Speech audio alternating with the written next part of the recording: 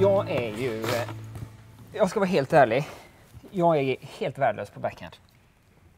Jag kan inte göra någonting med backhandsidan nästan. Nästan.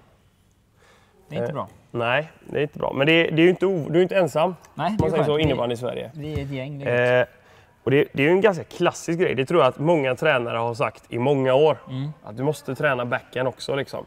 För- Men det, det som är det intressanta med, med att spela backen är ju inte själva tekniken, backen i sig. Utan det är ju ett, I min värld så handlar innebandy mycket om att, att stjäla tid Mm. från motståndarna och ge tid till, till dig själv och, och dina medspelare. Och om, man, om en boll kommer mot dig och att du alltid i ryggmärgen, som du till exempel, vill använda din forehand.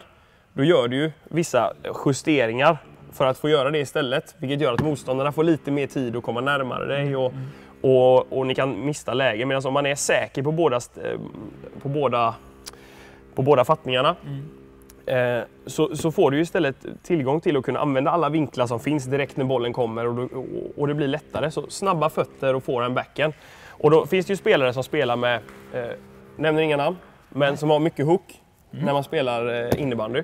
Och det gäller det, då, då liksom, ja men det är så svårt när jag har, när jag har mycket hook liksom. Men det, det, är ju bara, det är ju bara en träningssak. Skönt. Det är ju verkligen bara en träningssak. Att liksom nöta enkla övningar när ni kör uppvärmningsövningar på träningarna. Bestäm dig för, liksom, säg till spelarna på din sida att "Ah, jag vill ha bollen på backhand idag. Liksom.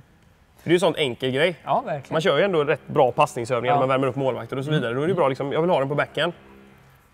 Ja, det är perfekt ju. Och då, då slår du också död på den här myten att man måste ha lite hook. Utan man kan faktiskt ha en ja. del hook på sitt blad Ja.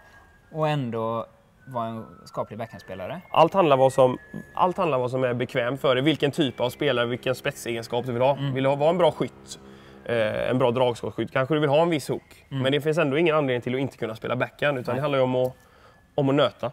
Är det för sent att börja träna på backhand när man är 35? Nej, det är det inte. Kör, kör Daniel, kör.